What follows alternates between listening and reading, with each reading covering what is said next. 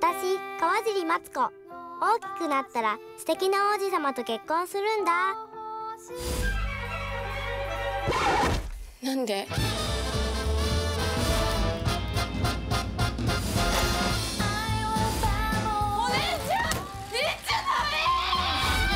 せめて金運んでこい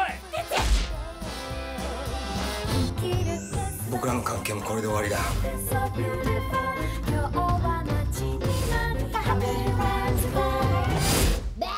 あんた死ぬ気だったんだろ？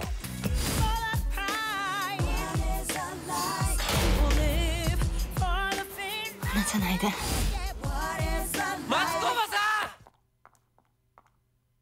ん！おばさんあなたの人生って？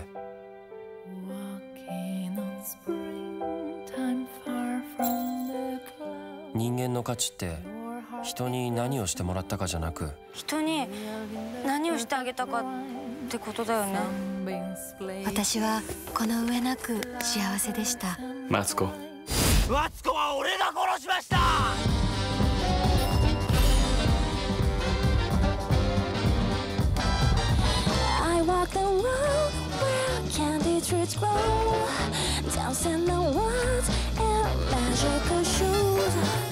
ボロボロに傷ついても最後まで人を笑わせ愛し続ける。